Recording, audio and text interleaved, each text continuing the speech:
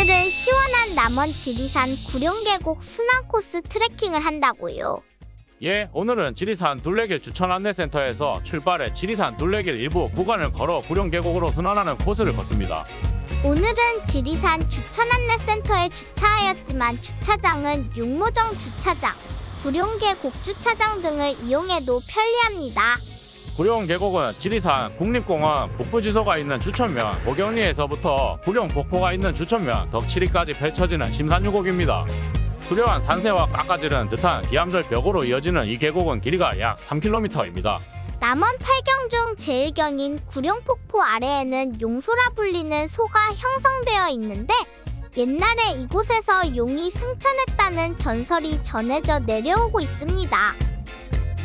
임도를 따라 계속 올라서면 개미정지에 도착합니다. 개미정지 서어나무 쉼터는 외구의 침입을 대비하다 여기서 잠이 든 의병장 조경남의 발을 개미들이 물어뜯어 위급함을 알렸다 하여 이름이 붙어졌다고 합니다. 또한 제 너머 지리산 속 주민들이 남원장을 다녀갈 때 이곳 지고 가던 짐 보따리를 내려놓고 옹기종기 쉬어가던 주막터이기도 하였다고 합니다. 등산로는 서서히 고도를 높이지만 편안한 숲길로 이어집니다. 오늘 걷는 지리산 둘레길은 지리산 둘레를 잇는 길에서 만나는 자연과 마을, 역사와 문화의 의미를 다시 찾아내 있고 보듬는 길이라고 합니다. 지리산 둘레길은 지리산 둘레 세개도 전북, 전남, 경남과 다섯 개 시군 남원, 구례, 하동, 산청, 함양 등 16개 읍면 80여 개 마을을 잇는 300여 킬로미터의 장거리 도보길로 지리산 곳곳에 걸쳐 있는 옛길, 고갯길, 숲길, 강변길, 논뚝길, 농로길, 마을길을 연결하고 있습니다. 지리산 둘레길은 속도의 문화를 느림과 성찰의 문화로 수직의 문화를 수평의 문화로 만들어 가고자 하는 소망이 담겨져 있습니다. 이곳 갈림길에서 바로 앞 왼쪽에 있는 사랑나무를 보고 갈림길로 돌아 나와 오른쪽 구룡폭포로 진행해야 합니다. 사랑소나무, 용소나무로 불리는 두 소나무가 서로 접목된 이 열리지 나무는 일심동체로 남녀 이성 간의 화목은 물론 깊은 애정도 그려주고 있으며 또한 비상하려는 용의 형상을 지니고 있어서 이 명품 용소나무를 배경으로 사진을 남기거나 소원을 빌며 모든 이들의 행운과 건강이 오래오래 이어진다고 전하여 오고 있습니다. 이곳은 많은 불들이 등로를 차지해 버렸지만 등로는 확실하게 구분할 수 있습니다.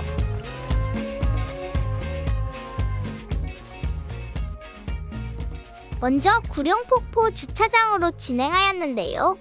구룡폭포만 만나고 싶다면 차량을 이용해서 이곳 구룡폭포 주차장까지 올라와 구룡폭포를 즐길 수 있습니다.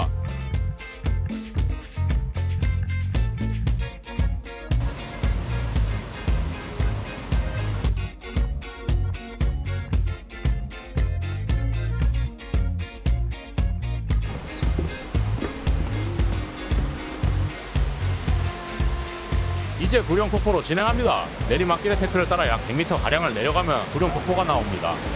구룡폭포는 아홉 마리의 용이 살다가 승천했다는 전설로 인해 구룡폭포라고 이름 지어졌습니다.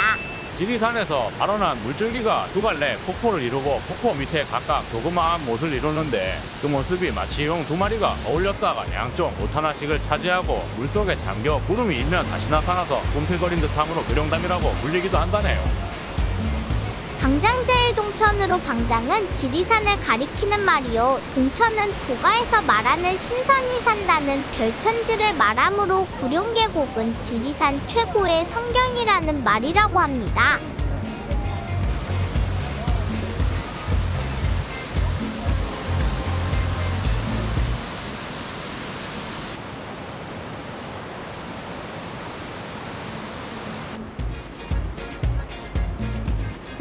하산은 육모정 방향으로 진행합니다. 구룡계곡 탐방로는 계곡 옆 산비탈을 오르내리며 3km 구간에 9곡이 펼쳐집니다. 엄청나게 많은 그 경사도길 나무데크 계단을 내려가야 하는데요.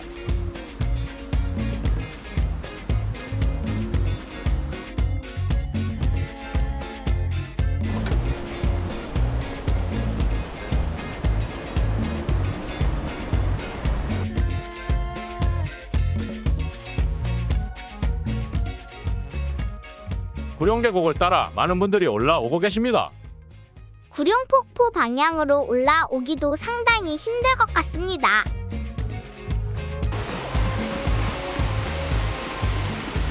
기나긴 나무 데크 계단을 따라 계속 내려가면 비폭동이 나오는데요.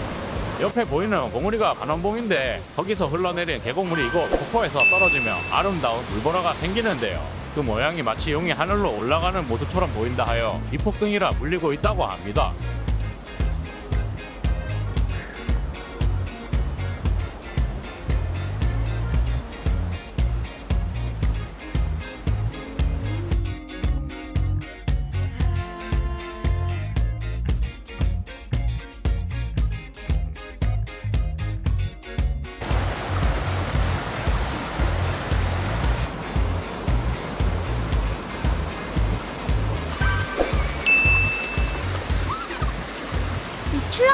출렁다리를 지나면 나타나는 지주대인데요.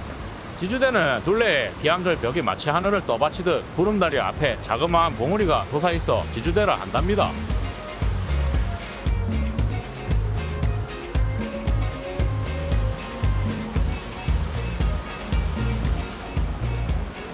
유선대에 도착했습니다. 유선대는 반반한 바위에 금이 많이 그어져 있어 선인들이 바둑을 두며 즐겼다는 전설에서 유래되어 유선대라 불리며 주변의 절벽은 선인들이 인간들에게 보이지 않기 위해 병풍을 쳐놓은 것 같다 하여 운선병이라고 합니다. 사랑의 다리를 건너는데요. 구룡계곡엔 계곡과 계곡을 이리저리 왔다 갔다 가로지르는 다리가 아주 많습니다. 구룡계곡은 용이 하늘로 승천하는 길로 용호계곡이라고도 합니다. 옛날 음력 4월 초파일이면 아홉 마리의 용이 하늘에서 내려와 아홉 군데 소에서 논일다가 승천하였다는 전설이 전해져 온다고 합니다.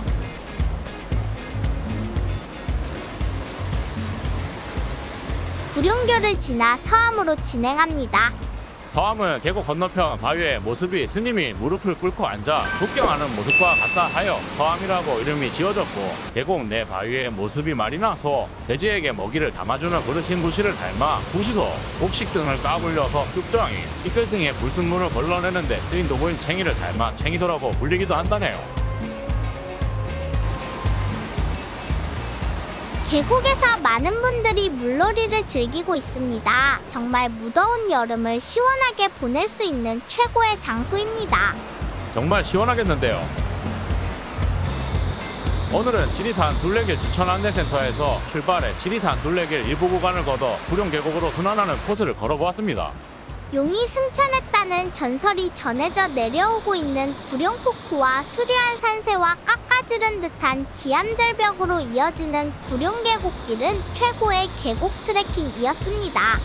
시청해주셔서 감사합니다. 구독과 좋아요 부탁드립니다.